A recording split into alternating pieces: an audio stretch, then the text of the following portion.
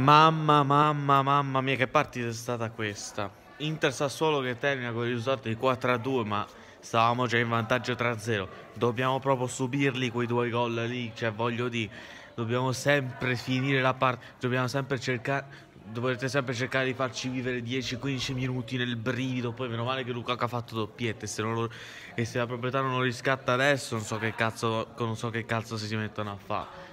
Comunque, tre punti pesantissimi che dopo la sconfitta del Milan con lo Spezia, che tra l'altro che cazzo hanno fatto a perdere la diciottesima in classifica, ci portano a più 5 da loro. E la zona Champions potrebbe anche essere una, una cosa abbastanza cioè una cosa più agevolata, però ricordiamoci, mo martedì ci abbiamo a giocare l'altra partita col Milan, domenica ci abbiamo Napoli, dopo Napoli ci abbiamo l'Atalanta, quindi ancora è, ancora abbastanza dura, però sono convinto che se, se, se, giochiamo un pochettino come abbiamo fatto nelle ultime 6-7 partite, si, si, può, si, può, tranquillamente cercare di prendere il, il, quarto posto. Quello poco ma sicuro se ci mettiamo a giocare bene, perché le, perché le carte in regola ce l'abbiamo.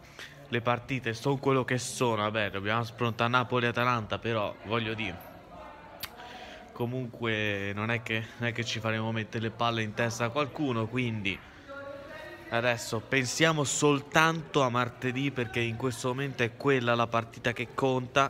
Poi, poi ci mettiamo a programmare la partita per il Napoli e tutto, però adesso testa la partita di martedì che è stata probabilmente la partita più importante dell'Inter negli ultimi dieci anni, probabilmente.